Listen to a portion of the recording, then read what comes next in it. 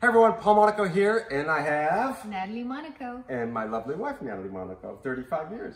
Almost. Almost, yeah, wonderful. Listen, we're here today to present you another beautiful Donald Ross product. It is a gorgeous, lightweight polyester windbreaker that I think is very essential to have in your bag for those cooler days.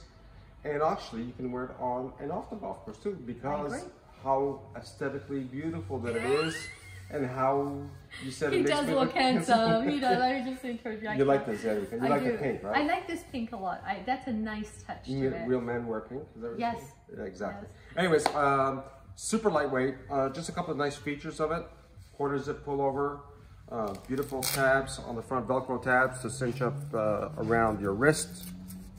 Uh, drawstrings around the hem, which are located in the two front pockets, which is nice to have, uh, front pockets in here.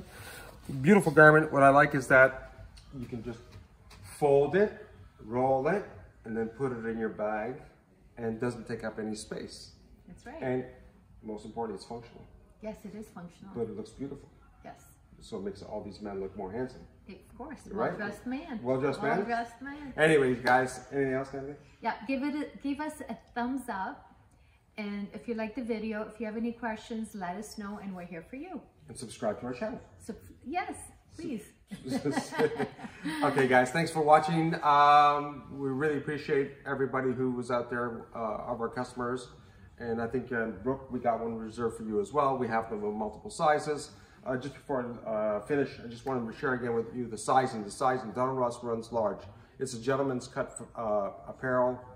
It is, I'm wearing a medium. I'm a 34 waist, 176 pounds, about a 42 inch chest, and five foot eight. It does run big on me. I would definitely get a small in this. So if you're 36, it would be perfect for a medium. So uh, again, size is really important because you don't want things looking too big and too baggy. Right, Natalie? That's right. Anyways, thanks for watching Paul Monaco and Thanks again.